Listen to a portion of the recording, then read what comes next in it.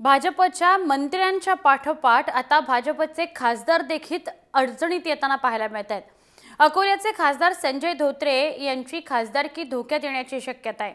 निवडणुकीच्या कालखंडामध्ये paid news आणि अन्य बाबींवरील खर्च निवडणुकीच्या प्रतिज्ञापत्रात दाखवला नसल्याचा आरोप धोत्रेंवर करण्यात आला आहे सव्वीस लाख अठ्ठ्याण्णव हजार रुपयांचा खर्च दाखवला नसल्याच्या आरोपाबद्दल त्यांच्यावर चौकशीचे आदेश केंद्रीय निवडणूक आयोगानं दिलेले आहेत. राज्याच्या मुख्य निवडणूक अधिकाऱ्यांना हे आदेश देण्यात आलेत. केंद्रीय निवडणूक आयोगानं तातडीनं चौकशीचा अहवाल मागवला असून मुख्य निवडणूक अधिकाऱ्यांनी धोत्रे यांच्या पेड न्यूज प्रकरणाची चौकशी सुरू केलेली आहे. त्यामुळे आता खासदार संजय धोत्रे यांची खासदारकी धोक्यात आली आहे.